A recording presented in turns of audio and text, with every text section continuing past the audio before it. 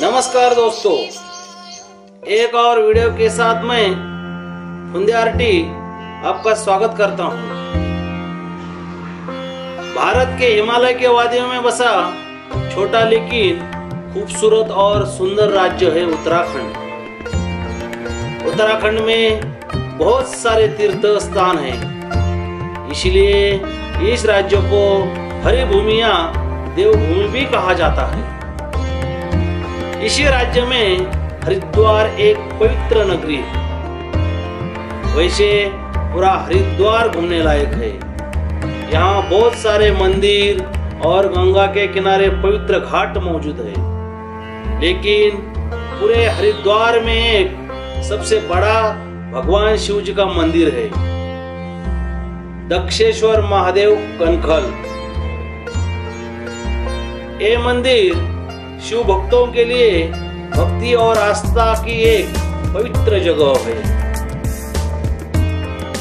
भगवान शिव का यह मंदिर सती के पिता राजा दक्ष प्रजापति के नाम पर है।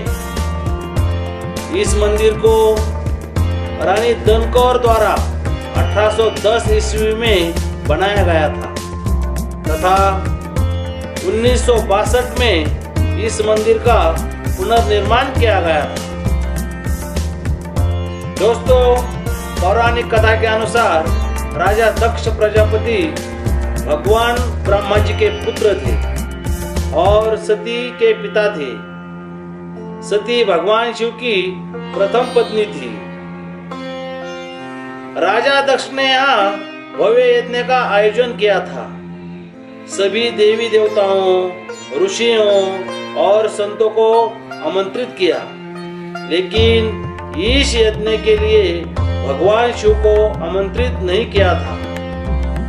इसी घटना से सती ने अपमानित महसूस किया। उन्हें लगा राजा दक्ष ने भगवान शिव जी का अपमान किया।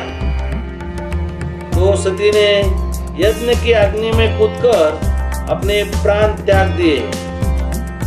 इससे भगवान शिव क्रोधित हुए। और भगवान शिव ने अपने अर्ध देवता वीरभद्र, भद्रकाली और शिव गुणों को कनखल युद्ध के लिए भेजा। वीरभद्र ने राजा दक्ष का सर काट लिया।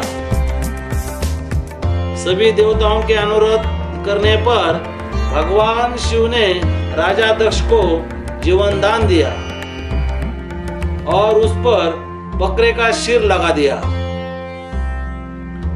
राजा दक्ष को अपनी गलती का एहसास हो गया और उन्होंने भगवान शिव की क्षमा मांगी। तो भगवान शिव ने घोषणा की, हर साल सावन के महीने में भगवान शिव कनखल में निवास करेंगे। यज्ञ कुंड के स्थान पर दक्षेश्वर महादेव का मंदिर बनाया गया था, जो मंदिर आप देख रहे हैं। दक्षेश्वर महादेव मंदिर के पास गंगा किनारे दक्ष घाट है। जहाँ शिव भक्त गंगा में स्नान करके भगवान शिव का दर्शन करके आनंद प्राप्त करते हैं। दोस्तों आपने ये वीडियो पूरा देखा। इसलिए मैं आपका धन्यवाद करता हूँ। नमस्ते।